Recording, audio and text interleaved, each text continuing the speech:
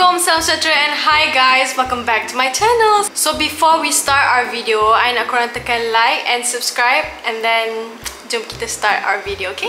So lately ni, I sangat-sangat busy dengan I punya assignments. Rasa macam lama gila tak tengok wayang tau. So since I'm a student in UiTM Lendu, nak pergi wayang tu memang jauh. Dalam 30 minutes nak pergi kat Bandaraya Melaka semata-mata nak tengok wayang dekat Aeon. So, I decided untuk beli satu projector ni. And dengar cerita lah kan Projector ni memang best. I just bought this projector from InLab Sense. So, senang lah nanti I tak payah pergi tengok wayang dah. I dah boleh tengok wayang dekat dalam bilik. Besar-besar pakai projector. Boleh lah tengok dengan kawan-kawan kan? Before I nak buka parcel I I nak explain some features yang buat I rasa nak beli this projector So, as I did my research, design dia memang cantik and minimal. Selain tu, gambar dia pula 1080p HD. Dia ada Dolby Audio Certified. So, bolehlah nak pasang movie kan? Speaker dia pun sendiri dah kuat. Siap boleh nak karaoke ke? And also dia ada screencasting yang support Android and iOS. Jarang weh nak jumpa yang support iOS ni.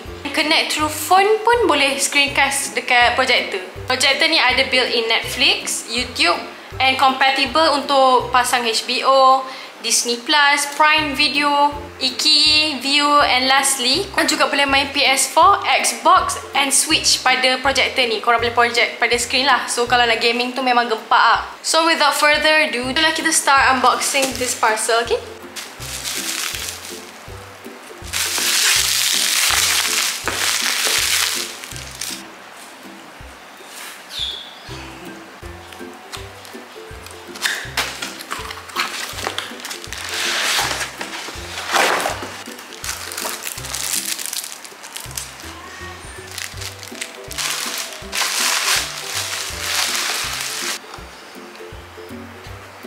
So this is the projector.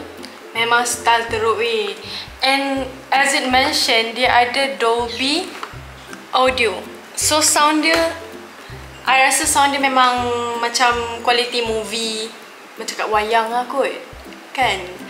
So I really can't wait to try this out and I'm gonna have a movie night tonight with my friends. So I nak try tengok movie, nak try tengok YouTube nak try karaoke pakai this thing so I will show you guys how I did it so jomlah kita teruskan our video okay A few moments later. Okay, so tonight I nak buat movie night dengan my friends. So this is my setup since I tak beli lagi I punya projector holder. So kita pakai ni dulu and sambung pada dinding. I akan sambung kat sini, dinding ni. Nak setting dia memang senang. Korang just pasang wire power dia. And then korang boleh sambung HDMI kalau korang nak sambung pada laptop lah. Kalau tak, korang boleh guna control ni untuk kawal dia punya menu and so on. So nak turn on dia korang sama ada boleh tekan ni ataupun korang boleh tekan dekat sini. Okay, so tekan ni and dia akan macam on macam ni. So as you guys can see, dia agak blurry tapi kita boleh ubah fokus dia. Tekan button kat depan ni. Tekan yang ni. And kita boleh adjust dia punya fokus. Okay, dah clear. Kalau korang boleh nampak, dia punya gambar memang clear. Boleh tengok lah. I akan zoom sikit. So you can see how clear the picture is.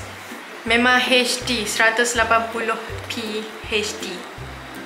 The next thing yang I nak buat, I nak connect wifi pada projector ni. Firstly, just click on the wifi icon dekat atas tu and then korang boleh click on your preferred wifi connection and then korang boleh connect and boleh buka lah macam YouTube ke, Netflix ke, anything you want.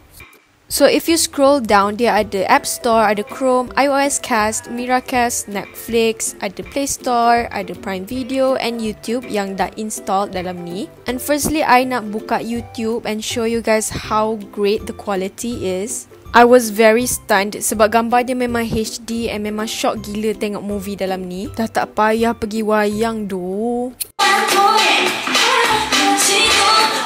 So apa lagi kan kita orang pun ambil kesempatan untuk karaoke sama-sama. Memang best we. Especially kita orang ada wireless mic. This is a very fun activity. Next, I nak cuba pakai screencasting function untuk iOS. And today, I have my iPhone. So, I nak try guna iPhone I lah kan. So, just scroll down and then korang boleh tekan iOS cast. And dia ada macam tutorial yang senang gila nak follow. So buka iOS device, swipe down and korang akan tekan mirroring yang ada dua petak tu kat situ. And nama device ni akan keluar as broadcast. So just tekan untuk connect and then dia akan connect sendiri and mudah sangat-sangat. Wait. So if you guys nak share anything from your phone, korang boleh screencast macam ni je dekat projector tu. Kalau ada nak buat presentation ke, ada nak tayangkan video or movie pun boleh guys. Tapi dari screencast pada phone, I recommend untuk guna HDMI sebab dengan cara tu, gambar akan lagi clear and cantik. Ni sebab quality from my phone. So, sebabkan I punya line tak okay, gambar dia tak clear sangat lah. As I mentioned earlier, dia ada pre-installed Netflix so korang boleh log in dalam ni and buka korang punya Netflix account. Don't worry, korang boleh juga install dekat dia punya App Store. Ada SoundCloud, Spotify and macam-macam lagi untuk install kat dalam projector kalau korang tak nak screencast or HDMI lah kan. So, I tried the window trend on TikTok and sumpah realistic gila. Disebabkan gambar yang HD sangat from projector ni, so feeling macam escape gitu weh. And it was a wonderful experience.